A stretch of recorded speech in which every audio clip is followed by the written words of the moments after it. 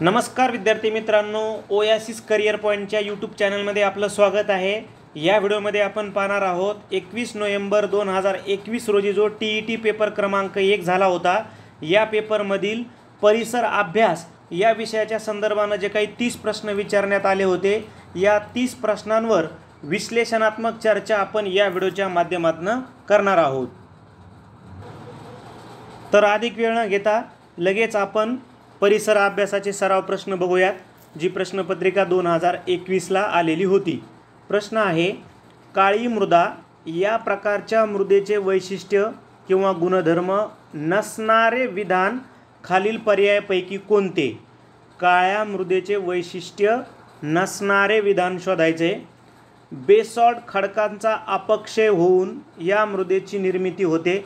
हे विधान बरोबर आहे. आपल्याला माहिती आहे जर बेसॉल्टचं विदारण झालं तर काळी मृदा निर्माण होते. म्हणजे पहिलं बरोबर आहे हे उत्तर नाही आपल्याला नसणारे शोधायचे. टिटॅनिफेरस मॅग्नेटाईट या घटक द्रव्यामुळे काळा रंग प्राप्त होतो. हे सुद्धा बरोबरच आहे. पाणी धरून ठेवण्याची क्षमता जास्त असते. हे सुद्धा बरोबर आहे. या मृदेला रेगूर किंवा गाळाची मृदा म्हणतात. एकदम छोटी मिस्टेक केली आहे बघा. रेगूर ठीक आहे काळ्या मृदेला रेगूर मन मृदा म्हणतात पण किंवा गाळाची इथे रॉंग झालं आहे. गाळाची मृदा म्हणत नाही. हिला काळी मृदा काळी कापसाची मृदा काळी मृदा किंवा काळी कापसाची मृदा अशा टोपण नावाने ओळखलं जातं. म्हणजे इथं गाळाची मृदा हे रॉंग आहे. म्हणून मग कोणतं नसणारं विधान असणार आहे? पर्याय क्रमांक चार. तुम्ही जर टी ई टीची तयारी करत असाल तर एक लक्षात घ्या. मागच्या चार वर्षाच्या प्रश्नपत्रिकाचं जर तुम्ही ॲनालिसिस जर केलं तर तुम्हाला लक्षात येतं की त्याच टॉपिकवर परत परत प्रश्न विचारले जातात. म्हणून काळ्या मृदेच्या संदर्भानं जे इतर गुणधर्म आहेत जसं उन्हाळ्यामध्ये तिला भेगा पडतात त्याचबरोबर ह्युमसचं प्रमाण जास्त असतं त्याचबरोबर सर्वात सुपीक मृदा आहे महाराष्ट्रात सर्वात जास्त मृदा काळी मृदाचा आहे हे सुद्धा गुणवैशिष्ट्य अभ्यासा किंवा ज्यावेळेस आपला व्हिडिओ सुरू असतो त्यावेळेस नोटबुक घेऊन त्या टॉपिकच्या संदर्भानं जी आपण सविस्तर चर्चा इतर पर्यायाच्या दृष्टिकोनातून करतो ती सुद्धा आपण नोंद करून घेणं गरजेचं आहे. कारण या अगोदर जी दोन हजार एका एकवीसला टी ई टी परीक्षा झाली होती हे व्हिडिओचं ॲनालिसिस करणारं लिहून घेतल्यामुळं अनेक विद्यार्थ्यांचे रिझल्ट आले असे त्यांचे मॅसेज आलेले होते. त्यानंतर नेक्स्ट क्वेश्चन आहे महाराष्ट्रातील जलसिंचन क्षेत्राचा विचार करता सर्वसामान्यपणे जलसिंचन साधनांचा वापरणारूप सर्वात जास्त व सर्वात कमी अशी जोडी दर्शविणारा पर्याय कोणता? सर्वात जास्त कोणतं जलसिंचनाचं साधन वापरतात आणि सर्वात कमी अशी जोडी शोधायची? आपल्याला माहीत पाहिजे की महाराष्ट्राचा जर विचार केला तर सर्वात जास्त वापरतात विहिरी. महाराष्ट्रामध्ये जलसिंचनाचं सर्वात जास्त विहीर हे जलसिंचनाचं साधन वापरलं जातं. एकूण साधनापैकी पंचावन्न टक्के वापरलं जातं. कालवा हे लिहून घ्या हवं तर शक्य झालं तर. कालवा बावीस पॉईंट पाच टक्के तलाव चौदा पॉईंट पाच टक्के आणि उपसा आठ टक्के. ठीक आहे? म्हणजे सर्वात जास्त कोण? तर विहिरी. आणि सर्वात कमी कोण? तर उपसा. मग विहिरी उपसा असा पर्याय आहे पर्याय क्रमांक तीन. त्यानंतर खालील पर्यायापैकी रेखावृत्ताचे वैशिष्ट्य कोणते? तर आपल्याला माहिती आहे की रेखावृत्त म्हणजे पृथ्वी गोलावरील उभ्या काल्पनिक रेषा. पृथ्वी गोलावरील ज्या उभ्या काल्पनिक रेषा आहेत त्यांना आपण रेखावृत्त असं म्हणतो. एकूण रेखावृत्तांची संख्या आहे तीनशे साठ. तीनशे साठ रेखावृत्त आहेत. तर आता त्यांच्या वैशिष्ट्यावर आधारित प्रश्न आहे. पर्याय वाचूयात. परस्परांशी समांतर असतात. परस्परांशी समांतर असतात. हे तर रॉंग आहे. कारण परस्पराशी समांतर अक्षवृत्त असतात. रेखावृत्त नव्हे. लांबी समान असते. सेकंड बरोबर असणार आहे आपलं. कारण बघा मूळ रेखावृत्त म्हणजे बृहद वृत्त. पण बर बृहद वृत्त म्हणजे विषुववृत्त होतं. म्हणजे तिसरं चुकलं. झिरो अंश रेखावृत्त म्हणजे विषुववृत्त नाही. झिरो अंश रेखावृत्त म्हणजे मूळ रेखावृत्त. म्हणजे चौथं पण चुकलं. म्हणजे बरोबर काय आहे? लांबी समान असते. म्हणजे आपण जर पृथ्वी गोलचा विचार जर केला तर हा पृथ्वी गोल जर असेल तर रेखावृत्त असे उभे असतात. असे उभे असतात. ठीक आहे? रेखावृत्त उभे असतात. आणि आडवे जे असतात हे असतात अक्षवृत्त. ठीक? आहे रेखावृत्त असतात उभे. उभे रेखावृत्त असतात.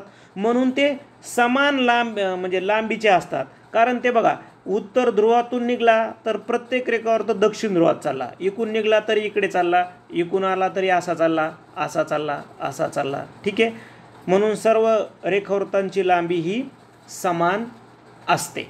ठीक? आहे अक्षवृत्त मात्र असमान असतात हे पण लक्षात ठेवायचं आहे. त्यानंतर नेक्स्ट क्वेश्चन आहे मैदान या नावाने ओळखला जाणारा प्रदेश कोणता आहे? छत्तीसगड राज्याचा दक्षिण भाग आणि ओडिशा राज्याचा नैऋत्य भाग. तर याला दंडकारण्य म्हणतात. छत्तीसगड राज्याचा मध्य भाग आणि ओडिशा राज्याचा पश्चिम भाग. पूर्वेचे पठार कर्नाटकचे पठार. आता एकदम आपण जर बघितलं परिसर अभ्यासाचे प्रश्न हे एकदम बुकमधल्या ओळी घेतात. आपण जर जुनं बुक बघितलं वर्ग नववी वर्ग नववीचं बुक जर ओल्ड बुक घेतलं तर त्याच्यामध्ये तुम्हाला हे मिळून जाईल भारताच्या प्राकृतिक रचनामध्ये. कारण कर्नाटकच्या पठाराला कर्नाटकमध्ये मैदान असं म्हटलं जातं. म्हणजे पर्याय चार हे आपल्या प्रश्नाचं उत्तर आहे. ठीक आहे? कर्नाटकच्या पठाराला कर्नाटकमध्ये मैदान म्हणतात. त्याच्यामुळं आपल्याला हा प्रश्न ऑड ऑट वाटू शकतो.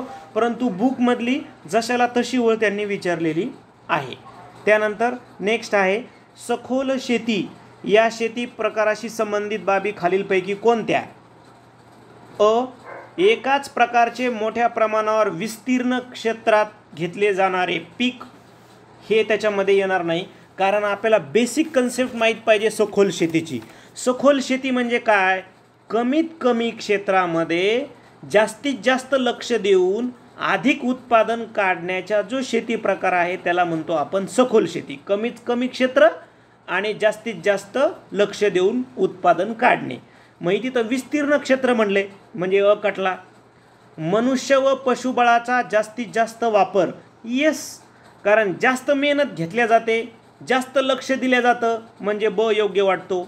मर्यादित यांत्रिकीकरण मर्यादित क्षेत्र असल्यामुळं मर्यादित यांत्रिकीकरण होईल साहजिकच. कारण इथं मनुष्यबळाला कमी नाही. म्हणून ब आणि क हे दोनही बरोबर येतील. ब आणि क. म्हणून पर्याय दोन हे आपल्या प्रश्नाचं उत्तर असणार आहे. त्यानंतर बघा गुजरातच्या सीमेशी लागून महाराष्ट्रातील जिल्ह्यांचा गट कोणता आहे? बघा नंदुरबार आणि धुळे नंदुरबार आणि धुळे. आता ही आपण तुम्हाला समजण्यासाठी आपण नकाशा कॉपी पेस्ट केला. इथं परीक्षेमध्ये इतकं सोयी येत नाही. परीक्षेमध्ये फक्त तुम्हाला हे पर्याय आले तर. नंदुरबार आणि धुळे. आपण जर बघितलं तर नंदुरबार गुजरातला लागतो का तर यस धुळे पण लागतो. म्हणजे पर्याय एकच आपलं उत्तर आहे. का? कारण बघा जळगाव जो आहे हा एम पीला लागतो. एम पीला लागतो म्हणून जळगाव कटला कारण तो गुजरातला लागत नाही. नाशिक गुजरातला लागतो मग पण प जळगाव लागत नाही म्हणून तो कटला. नाशिक ठीक आहे. म्हणून तो दुसरा पर्याय कटला. ठाणे आणि पालघर. ठाणे तर कुठ कोणत्याच राज्याला लागत नाही म्हणून ठाणे पर्याय पण कटला. पालघर लागतो परंतु ठाण्यामुळं तो तिसरा कटला. ठाण्यामुळं ऑलरेडी चौथा बी कटन. मुंबईमुळं मुंबई कोणत्या राज्याला लागत नाही. म्हणजे पर्याय एक हे आपल्या प्रश्नाचं उत्तर आहे. त्यानंतर नेक्स्ट क्वेश्चन आहे. सर्वसाधारणपणे मासे ज्याला मत्स्यवर्ग म्हणतो यांच्याशी विसंगत बाबत खालील पर्यायपैकी कोणता आहे? ठीक आहे विसंगत. मत्स्यवर्गाची प्राणी वर्गीकरणावर आधारित तुम्हाला प्रश्न विचारलेला आहे. आता हा जो क्लास पायसेस आहे आपण त्याला क्लास पायसेस असं म्हणतो. त्यावर आधारित प्रश्न जनरल ओळी आहेत बघा. आपण थोडा जरी विचार केला तर उत्तरापर्यंत पोहोचू शकलो असतो. काही मासे दीर्घायू असतात का? यस. असणारच आहेत. काही मासे अल्पायुषी असतात का? यस. हृदय तीन कप्प्यांनी बनलेले असते का? नाही. हां ज्या वेळेस आपण क्लास पायसेसचा अभ्यास करतो किंवा मत्स्यवर्गाचा अभ्यास करतो तर आपल्याला माहीत पाहिजे की मत्स्यवर्गातले सर्व प्राण्यांचं हृदय हे हृदय हे दोन कप्प्यांनी बनलेलं असतं. म्हणून तीन रॉंग आहे. म्हणून विसंगत म्हणलं आहे ना विसंगत. मग कोणता यायला? पर्याय तीनच विसंगत यायला. कारण शरीराचे तापमान आजूबाजूच्या तापमानाला बदलते का? तर यस. म्हणजे एक दोन आणि चार हे पर्याय बरोबर आहेत. मग रॉंग कोणता आहे तीन. म्हणून तीन हेच उत्तर आहे कारण आपल्याला तो विसंगत विचारलेला आहे. त्याच्यानंतर नेक्स्ट आहे संपर्कजन्य रोगांचा गट खालीलपैकी पर्यायापैकी कोणता? संपर्कजन्य. नावामध्येच कळालेलं की संपर्क केल्यामुळं रोग ट्रान्सफॉर्मर होतो. मग तो स्पर्श असेल किंवा एकमेकाचे कपडे वगैरे वगैरे वगैरे. ठीक आहे. संपर्क आला म्हणून रोग पसरणार दुसरीकडं. ॲनिमिया आता सर्वांना माहीत आहे की आपल्याला माहिती आहे की ॲनिमिया हा एखाद्या गोष्टीच्या अभावामुळे होतो. ॲनिमिया हा लोहाच्या अभावामुळे होतो. बरोबर आहे? लोहाच्या अभावामुळे होतो. म्हणजे हा संपर्कामध्ये येणारच नाही. स्कर्वी क जीवनसत्वाच्या अभावामुळे होतो. ठीक आहे? म्हणून गचकरण ठीक आहे संपर्कजन्य आहे परंतु ॲनिमिया आणि स्कर्वी नाही ना ते अभावजन्य रोग येतं. म्हणून एक कटला. नायटा इसब आणि युरेमिया. आता नायटा इसब आणि युरेमिया. तर युरेमिया पण आपल्याला माहीत पाहिजे. तर तो संपर्कजन्य येणार नाही कारण यु ब्लडमध्ये जर युरियाचं प्रमाण वाढलं तर युरेमिया होतो. म्हणजे काहीतरी समजा किडनीत प्रॉब्लेम आला वगैरे म्हणजे संपर्कामुळं व्हायला का तो याचा त्याला व्हायला का नाही. तुमच्या म शरीरामधला एखादा अवयव खराब झालेला आहे तो. ठीक आहे? म्हणजे दुसरा पर्याय कटला तिसरा खरूज ठीक आहे संपर्कजन्य आहे. नायटा संपर्कजन्य आहे. मात्र गलगंड नाही ना गलगंड जो आजार आहे हा आयोडीनच्या अभावामुळे होतो. म्हणजे तिसरा पण पर्याय काढला मग साहजिकच खरूज इसब आणि गचकरणं हे संपर्कजन्य आजार आहेत म्हणून पर्याय चार हे उत्तर घेणं आपण अपेक्षित होतो. त्याच्यानंतर नेक्स्ट क्वेश्चन आहे बघा. मेलेल्या जनावरांच्या हाडापासून बोन मिल या नावाने प्रचलित काय आहे? तर बोन मिल हे खत आहे. आपण बर बरेचसे जे काही शेतकरी वर्गातून येत आहोत आपण सर्वजण तर हे आपल्याला माहिती आहे की बोन मिल त्या जवळपास तीस चाळीस किलोची बॅग असते. त्याच्यावर ते बोन मिल लिहिलं असतं. हाडापासून म्हणजे जे कत्तलखाना वगैरे तिथं ते मेलेले जे प्राणी असतात त्यांचे हाडं वगैरे आणि जे रॉ मटेरियल आहे त्याच्यापासून ते खत बनवलं असतं. त्यानंतर नेक्स्ट प्रामुख्याने मानवी शरीराच्या बांधणीस आवश्यक असणारी पोषकद्रव्ये कोणत्या घटकापासून मिळतात? पिष्टमय पदार्थ मेद जीवनसत्व आणि प्रथिनं. काय म्हणले ते? शरीराच्या बांधणीस. आता बघा पिष्टमय पदार्थ म्हणजे काय? हे एक पिष्टमय पदार्थ म्हणजे कर्बोदकाचा भाग आला. म्हणजे पिष्टमय पदार्थाचा मुख्य उद्देश शरीरासाठी ऊर्जा प्रोव्हाइड करणं. ठीक आहे? मेद काय करतं? मेदाचा तापमान नियंत्रण करतं म्हणजे तापमान नियंत्रण करते त्याचबरोबर शरीराचे आघात शोषतं म्हणजे मेद. जीवनसत्व शरीरातील ज्या क्रिया प्रक्रिया आहेत शरीराचा जो विकास आहे शरीराची जी योग्य वाढ आहे संप्रेरक जे आहेत म्हणजे ते जीवनसत्वाचं काम आहे. पण शरीराची बांधणी म्हणलं तर मग प्रोटीन्स. पर्याय चार. उत्तर घेणं आपण अपेक्षित आहे. त्यानंतर शरीरावरील जखमेच्या जागी होणारा रक्तस्राव गोठण्याचं कार्य कोण करतं? तर साहजिकच त्या प्लेटलेट्स करतात. कोण करतात तर? प्लेटलेट्स. आपल्या सर्वांना माहिती आहे की रक्तबिंबिका मराठीमध्ये पण इंग्लिशमध्ये प्लेटलेट्समुळं काय होतं? रक्त गोठल्या जातं. त्यानंतर नेक्स्ट क्वेश्चन आहे. पृथ्वीवरून आकाश निळ्या रंगाचे दिसते. याला कारणीभूत ठरणारा किंवा ठरणारे घटक खालीलपैकी कोणता किंवा कोणते? तर वातावरण पण ठरणार आहे आणि प्रकाशाचं विकिरण पण ठरणार आहे. आता वातावरण कसं कारणीभूत ठरतं? आपल्याला माहिती आहे की वातावरणामध्ये कोणकोणते घटक आहेत? वातावरणामध्ये आहे वायू वातावरणामध्ये आहे धुलीकण वातावरणामध्ये आहे जलबाष्प ठीक आहे? जलबाष्प हे वातावरणाचे घटक आहेत. आणि प्रकाशाचं विकिरण म्हणजे काय समजून घ्या? जेव्हा प्रकाश आपल्या वातावरणातील वायूवर किंवा धुलीकणावर पडतो म्हणजे मुळामध्ये तुम्हाला विकिरण ही कन्सेप्ट माहीत पाहिजे होती की जेव्हा प्रकाश किरण विविध वायूच्या किंवा धुळीच्या कणावर पडतो तेव्हा ते कण वेगवेगळ्या दिशांना प्रकाश विक्षेपित करतात. या नैसर्गिक प्रक्रियेला विकिरण असं म्हटल्या जातं. म्हणजे वातावरणात वायू आणि धूळ महत्त्वाच्या आहेत. म्हणजे वातावरणसुद्धा महत्त्वाचं झालं. आणि प्रकाशाचं विकिरण होणं जी प्रोसेस आहे विक्षेपित करण्याची प्रकाश किरण ती होणं पण गरजेचं आहे. म्हणून तुम्हाला आकाश निळ्या रंगाचे दिसतं. आलं लक्षामध्ये? हे दोनही कारणं त्याला कारणीभूत आहेत. दोन्ही अ आणि ब हे उत्तर घेणं आपण अपेक्षित आहे. त्यानंतर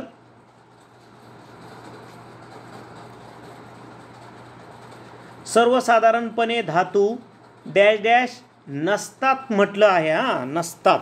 धातू काय नसतात? धातू तन्य असतात. कारण धातू ताणले जातात ना म्हणजे त्याच्यापासून तार तयार करता येते ना म्हणजे तसे असतात पण आपल्याला नसतात निवडायचे. वर्धनीय म्हणजे त्याच्यापासून पत्रा तयार करता येतो का? हो यस धातूपासून पत्रा तयार करता येतो. ठिसूळ हां धातू हे कठीण असतात. इथं काय पाहिजे होतं? कठीण पाहिजे होतं. ठीक आहे? मग ठिसूळ नसतात ना? म्हणून हेच उत्तर आहे. कारण धातू सुवाहक असतात उष्णतेचेही असतात आणि विजेचेही असतात. ठीक आहे? म्हणजे हे तर बरोबर आहे. म्हणजे तन्य असते वर्धनीय असते धातू सुवाहक असतात. काय नसतात? तर ठिसूळ. मग नसतात विचारलं म्हणून ठिसूळ हेच काय आपलं उत्तर आहे. खालील कारण व परिणाम याचा अर्थ लक्षात घेऊन योग्य पर्याय निवडा. कारण म्हटलंय पाणी संयुग आहे. बरोबर आहे पाणी संयुग आहे. ब पाण्याचे गुणधर्म हे हायड्रोजन व ऑक्सिजन यांच्या गुणधर्मापेक्षा भिन्न आहेत. ब पण बरोबर आहे. म्हणजे अ आणि ब दोन्ही योग्य आहे. कसं समजून घेऊयात आपण? आपल्याला माहीत आहे की संयुगाचे दोन वैशिष्ट्य लक्षात आपल्याला माहीत असणं अपेक्षित होतं की संयुगातील घटक मूलद्रव्य प्रमाण निश्चित असते. म्हणजे थोडक्यात काय? संयुग ज्या घटकापासून बनला जसं पाणी बनला एच आणि टू आणि ओ म्हणजे पाणी ज्या घटकापासून बनलं त्या घटकाचे मूलद्रव्याचं प्रमाण निश्चित असतं. म्हणजे एच टू ओ म्हणजे हायड्रोजनचे दोन आणि ऑक्सिजनचा एक. म्हणजे तुम्ही कुठंही जा भारतात जा पाकिस्तानमध्ये जा अमेरिकेमध्ये जा कोणतंही पाणी जर बघितलं तर या दोन घटकांनी बनलं आणि प्रमाणही फिक्स असतं. म्हणजे दोन हायड्रोजनचे येणार म्हणजे येणार. ठीक आहे? म्हणजे पाणी संयुग आहे कशावरून? कारण ज्या घटकाचं बनला त्या प्रमा घटकाचं प्रमाण निश्चित असतं. दुसरं वैशिष्ट्य संयुगाचं लक्षात ठेवायचं संयुगातील घटक मूलद्रव्याहून संयुगाचे गुणधर्म भिन्न असतात. म्हणजे संयुग ज्या घटकानं बनलं आता उदाहरणार्थ पाणी. पाणी कशानं बनलं? हायड्रोजननं आणि ऑक्सिजननं. तर त्या घटकापेक्षा संयुग निर्मिती झाल्याच्यानंतर घटकाचे गुणधर्म भिन्न असतात. म्हणजे हायड्रोजनचा स्फोटक गुणधर्म आहे आणि ऑक्सिजनचा काय आहे? ज्वलनास मदत करणं. पण ज्यावेळेस पाणी बनतं तर हायड्रोजनचे आणि ऑक्सिजनचे गुणधर्म राहतात का? त्याच्यामध्ये राहत नाहीत. वेगळे गुणधर्म धारण करतात. मग बघा ब काय म्हणते? पाण्याचे गुणधर्म हे हायड्रोजन व ऑक्सिजन यांच्या गुणधर्मापेक्षा भिन्न आहेत का? येस तसं प्रत्येक संयोगाच्या बाबतीत आहे. तुम्ही एन ए सी एलचं उदाहरण घ्या. सोडियम क्लोरीन क्लोरीन तर विषारी आहे पण जेव्हा मीठ बनतं तेव्हा आवश्यक आहे. तुम्ही हायड्रोक्लोरिक ॲसिडचं उदाहरण घ्या. एच सी एल संयुगच आहे. त्याच्यानंतर एन ए सी एल संयुगच आहे. ठीक आहे? त्याच्यानंतर नेक्स्ट आहे परिसंस्थेतील विघटक हा घटक अन्न साखळीमध्ये कोणती क्रिया करण्याचे काम करतात? सात्मीकरण सात्मीकरण वेगवेगळ्या ठिकाणी कन्सेप्ट वापरले जाते. आपल्या शरीराच्या चयापचय आणि रक्ताचा संदर्भ जर घेतला तर रक्तात अवशोषण झालेले अन्न पेशी व उतीकडे नेणे याला म्हणतात सात्मीकरण. पण इथं त्याचा संदर्भ नाही. आपल्याला परिसंस्थेतील विघटक या संदर्भाने विचारलं आहे तर विघटिक संक्रमण करतात ऊर्जेचं. विघटक काय करतात? संक्रमण. जसं जे काही पर्यावरणामध्ये जैविक घटक आहेत पालापाचोळा किंवा प्राणी मृत्युमुखी पडल्याच्या नंतर त्याचं विघटन करण्याचं काम त्याच्यापासून मृदेमध्ये ऊर्जा प्रोव्हाइड करण्याचं काम म्हणजे संक्रमण करण्याचं काम कोण करतात? विघटक करतात. विघटकचा संदर्भ उत्सर्जनासोबत नाही आहे आणि रसाकर्षणासोबत सुद्धा नाही. ठीक आहे? म्हणून पर्याय दोन हे आपल्या प्रश्नाचं इथं उत्तर आहे.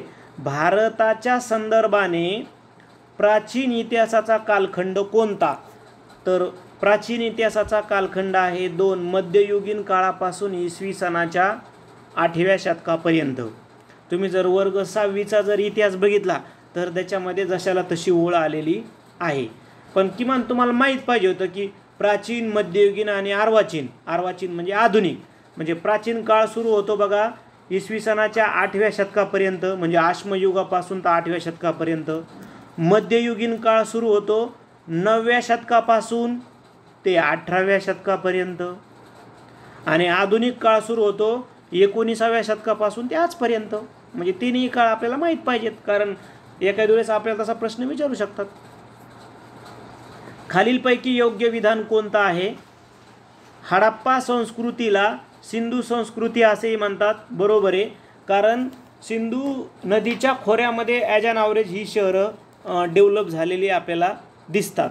त्यानंतर हडप्पा व मोहनजोदडो या दोन्ही ठिकाणांच्या अवशेषामध्ये समान वैशिष्ट्ये दिसून आली आहेत. बीसुद्धा बरोबर आहे कारण जे काही वस्तू आणि वास्तू सापडल्यात तिथं म्हणजे नगररचना असेल रस्ते असतील घर बांधणे असतील मुद्रा भांडी खेळणी सांडपाण्याची व्यवस्था असतील या सर्व बाबीमध्ये हडप्पा आणि मोंजोदडो म्हणजे सारखेपणा आहे. म्हणजे बी पण बरोबर आहे. क काय म्हणते बघा? हडप्पा व मोहनजोदडो ही दोन्ही शहरे आज पाकिस्तानात आहेत. बरोबर आहे तीनही द विधानं ही योग्य आहेत. म्हणजे तिन्ही अ ब आणि क म्हणून पर्याय क्रमांक चार उत्तर आपण घेणं अपेक्षित आहे. त्यानंतर मानवी उत्क्रांतीच्या टप्प्यातील बुद्धिमान मानव कोणत्या नावाने ओळखला जातो? Homo habilis Homo erectus Neanderthal Cro-Magnon. आपल्या प्रश्नाचं उत्तर आहे क्रोमॅनॉन. ठीक आहे? आता क्रोमॅनॉन का उत्तर आहे?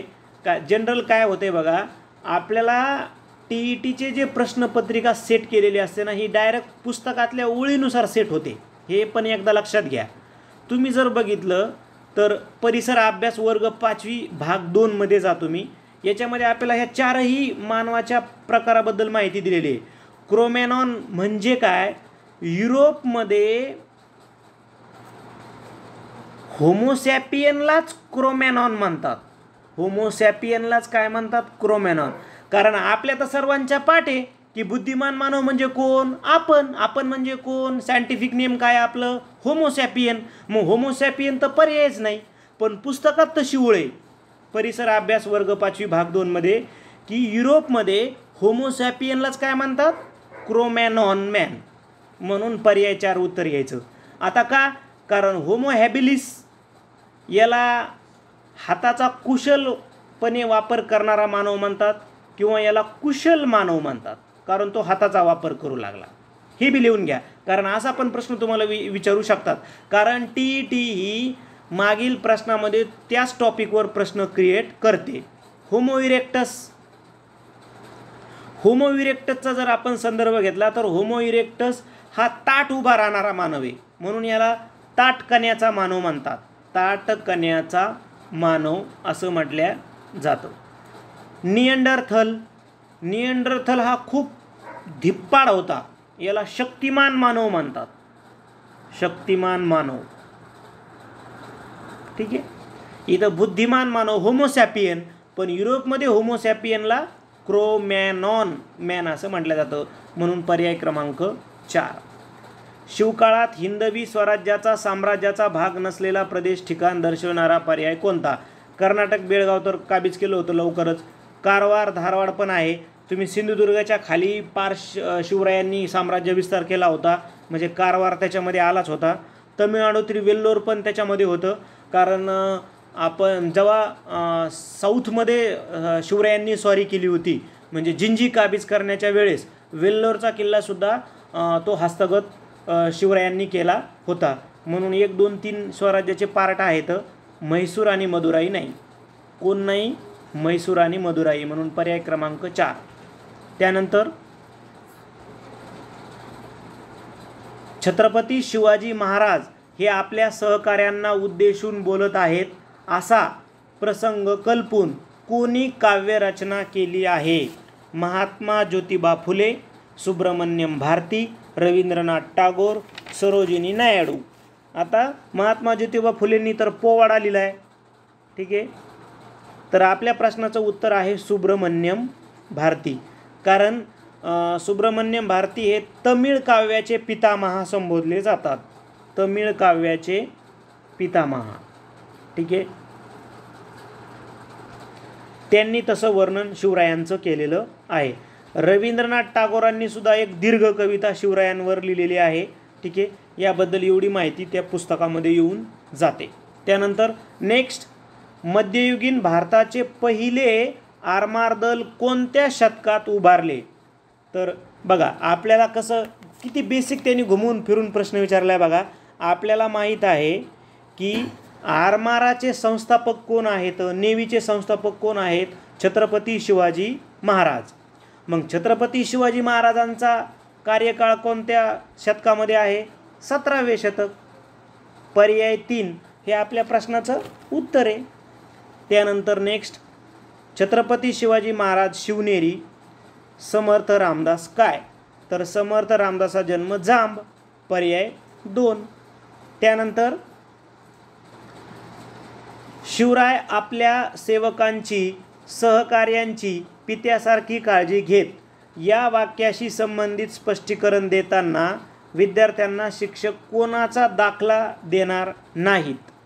बघा मदारी मेहतारांचा देतील कारण ज्यावेळेस आग्र्यातून सुटकेसाठी मदारी मेहतरांनी खूप जोखीम घेतली होती हे आपल्याला माहिती आहे.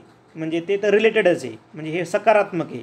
कान्होजी जे दे कान्होजी जयदेचं सुद्धा सकारात्मक उदाहरण आहे. कारण स्वराज्य स्थापनेपासून ते शेवटापर्यंत कान्होजी जेदे शिवरायांबरोबर होते. आणि जर तुम्ही डिटेलमध्ये तुमचं वाचन असेल तर नंतर त्यांच्या मृत्यूसमयी जेदेंच्या जे काही त्यांना आजार वगैरे झाले होते त्यावेळेस शिवरायांनी त्यांच्या औषध उपचाराची सोय वगैरे केली होती. प्रतापराव गुजर हे सुद्धा सकारात्मक आहे. कारण प्रतापरावांच्या मृत्यूनंतर प्रतापरावांच्या मुलीचं जे लग्न आहे त्यांनी म्हणजे शिवरायांनी आपल्या स्वतःचा जे मुलगा आहे तो छत्रपती राजाराम महाराज यांच्यासोबत लावून दिले होते. म्हणजे हे तिन्ही सकारात्मक नेते आहेत म्हणून हे शिक्षक उदाहरण स्पष्टीकरण देताना देतील. मात्र बाजी घोरपडे यांचं उदाहरण दे देता येणार नाही. याचं कारण असं आहे की बाजी घोरपडे आणि खंडोजी हे सरदार होते आदिलशहाचे. आणि यांनी कोंडाणा परिसरामध्ये खूप मोठा धुमाकूळ घातला होता. जन प्रजेला त्रास दिला होता. म्हणून शिवरायांनी त्यांना वटणीवर पण आणलं होतं. म्हणून हे निगेटिव्ह आहे. कोणतं? बाजी घोरपडे. म्हणून पर्याय चार हे आपल्या प्रश्नाचं उत्तर असणार आहे. त्यानंतर शिवरायांच्या काळात बारगीर हे संबोधन किंवा पद कोणत्या सैन्य दलाशी संबंधित आहे? घोडदळ पायदळ आरमारदल हेर खाते. तर हे घोडदळाच्या संदर्भानं आहे. घोडदळाच्या संदर्भानं दोन महत्त्वाची पदं येतं. एक म्हणजे बारगीर. ठीक आहे? तर बारगीर म्हणजे काय? हवं तो तुम्ही नोट करून घ्या. बारगीर म्हणजे सरकारी घोडा आणि सरकारी हत्यार. सरकारी हत्यार. आणि दुसरं जे पद आहे घोडदळातील ते आहे शिलेदार. ठीक आहे? शिलेदार. शिलेदार म्हणजे काय? स्वतःचा घोडा स्वतःचा घोडा आणि स्वतःचं हत्यार ठीक आहे? त्यानंतर नेक्स्ट क्वेश्चन आहे. भारतीय संविधानानुसार खालील पर्यायापैकी कोणता मूलभूत अधिकार नाही? धर्मस्वातंत्र्याचा अधिकार? हा तर आपल्या संविधानामध्ये आहे. तुम्ही कलम पंचवीस ते अठ्ठावीसचा संदर्भ बघू शकता संविधानामध्ये. शैक्षणिक व सांस्कृतिक अधिकार याचा पण संदर्भ तुम्ही पहा. एकोणतीस व तीसमध्ये.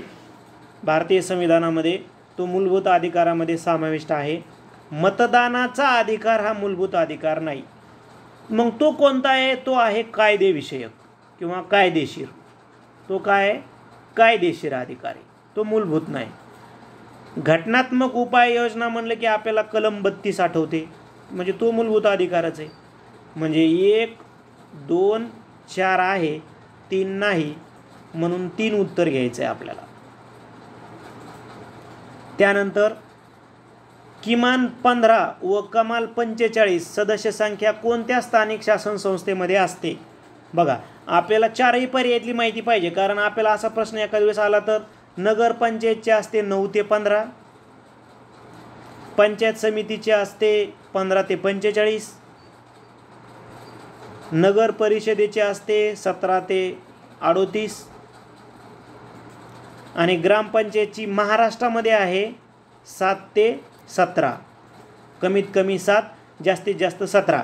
पण इंडियाचा जर संदर्भ घेतला भारतामध्ये म्हणजे यू पी वगैरे या प्रदेशामध्ये तर कमीत कमी पाच आणि जास्तीत जास्त एकतीसपर्यंतसुद्धा असते. आपल्याला विचारलं पंधरा ते पंचेचाळीस. पंधरा ते पंचेचाळीस कुणाचं आहे मग? पंचायत समिती. पर्याय दोन हे आपल्या प्रश्नाचं उत्तर आहे. त्यानंतर खालील पर्यायातील राज्यपालाशी संबंधित विसंगत बाब कोणती आहे बघा? विसंगत म्हणले तर राज्यपालाशी विसंगत बाब कोणती आहे? राज्याचे घटनात्मक प्रमुख असतात. राज्यपाल हे राज्याचे घटनात्मक प्रमुख असतात. बरोबर आहे. राज्याचे कार्यकारी प्रमुख नसतात. हे पण बरोबर आहे. राज्यपाल हे राज्याचे कार्यकारी प्रमुख नसतात. मात्र त्यांचा राज्य कार्यकारी मंडळात समावेश असतो. राज्याबाहेरील व्यक्ती असतात असा सुद्धा संकेत पाळला जातो. मग राज्यातील कार्यकारी मंडळात समावेश नसतो हे रॉंगे इथं असतो पाहिजे होतो. मग विसंगत काय आहे? पर्याय चार. तंतुमय पदार्थ नसणारा पर्याय कोणता म्हणलंय? तंतुमय पदार्थ नसणारा पर्याय कोणता? बघा बाजरी पालेभाज्या धान्याचा कोंडा हे तंतुमय पदार्थ आहेत.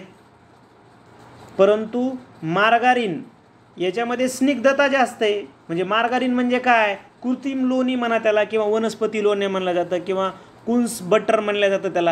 ह्याच्यामध्ये हे स्निग्ध पदार्थ म्हणजे खूप चरबीयुक्त असतं. आलं लक्षामध्ये? स्निग्ध पदार्थयुक्त लोणी म्हणजेच मार्गारीन. ठीक आहे? म्हणून माग मार्गारीन हा तंतुमय पदार्थ म्हणता येणार नाही. थोडक्यामध्ये काय? याला कार्बोदके म्हणता येणार नाही. पेंच नवेगाव व चांदोली. म्हणजे अर्थात इथं इथं असा क्वामा आहे. पेंच क्वामा नवेगाव व चांदोली. हा गट प्रामुख्याने कशाशी संबंधित आहे? आपल्याला माहिती आहे की पेंच नवेगाव चांदोली हे काय आहे तर राष्ट्रीय उद्यान आहेत. आपल्या महाराष्ट्रामध्ये एकूण सहा राष्ट्रीय उद्यान आहेत. ताडोबा राष्ट्रीय उद्यान चंद्रपूर. नवेगाव राष्ट्रीय उद्यान गोंदिया. पंडित जवाहरलाल नेहरू राष्ट्रीय उद्यान नागपूर. गुगामाळ राष्ट्रीय उद्यान अमरावती. चांदोली राष्ट्रीय उद्यान संजय गांधी राष्ट्रीय उद्यान बोरीवली. ठीक आहे? हे सहा आपण पाठ करून ठेवा. त्यानंतर शेवटचा प्रश्न महाराष्ट्रातील सह्याद्री पर्वतीय प्रदेशात आढळणाऱ्या प्रमुख आदिवासी जमाती कोणत्या? हे सुद्धा राईट डाऊन करून घ्या कारण आपल्याला या संदर्भानं प्रश्न तुम्हाला विचारू शकतात. आता काय म्हणले ते म्हणले की सह्याद्री पर्वतामध्ये कोणत्या आढळतात? आता कोरकू. कोरकू जी आहे प्रामुख्यानं ही मेळघाटात आढळते. मेळघाटात ठीक आहे. कोरकू मेळघाटामध्ये आढळते आणि वारली जी आहे ती कोकणामध्ये आढळते. कोकण किनारपट्टी. ठीक आहे वारली बोललो आपण. कोकणा कोकणा जी आहे ही सह्याद्री पर्वतामध्ये आढळते. म्हणजे वारली किनारपट्टीला आणि कोकणा सह्याद्री म्हणजे पर्याय दोन उत्तर येणार आहे आपलं. का? कारण भिल्ल जी आहे ना भिल्ल जी जमात आहे ही सातपुड्याच्या प्रदेशामध्ये आहे. आणि बघा भिल्ल सातपुडा आणि कोरकू मेळघाट. म्हणजे असं तुम्ही कट मेथडनं गेले असते तर बरोबर तुमच्याकडं पर्याय दोन उरला असता. त्यानंतर अशा पद्धतीनं आपण जवळपास तीस प्रश्नांचं विश्लेषण केलं. दोन हजार एकवीसचा हा पेपर होता. या अगोदरही आपण जे काही दोन हजार तेरापासून टी ई टी ऑर्गनाईज केले जातात त्या दोन हजार तेरा ते दोन हजार एकवीसपर्यंत खूप साऱ्या विषयाचे जसं मराठी इंग्रजी गणित आपण कंप्लीट केलेलंच आहे पण परिसर अभ्यास आणि मानसशास्त्र याचेसुद्धा आपण बऱ्याच वर्षीच्या प्रश्नपत्रिकांचा ॲनालाइज केलेला आहे. अजून काही करणं सुरू आहे. त्यामुळं तुम तुम्ही जर टी ई टीची त्याचबरोबर टी ए आय टीची सी टी टीची तयारी जर करत असाल तर तुम्ही आम्हाला सोशल मीडियाला फॉलो करू शकता. आमचं यूट्यूब चॅनल त्याचबरोबर Telegram channel WhatsApp channel Facebook page आणि इन्स्टा पेजला तुम्ही फॉलो करा सबस्क्राईब करा. या व्हिडिओच्या डिस्क्रिप्शन बॉक्समध्ये सर्व लिंक दिलेल्या आहेत. व्हिडिओ आवडला तर आपल्या सर्व मित्रांना पाठवा शेअर करा लाईक करा. धन्यवाद.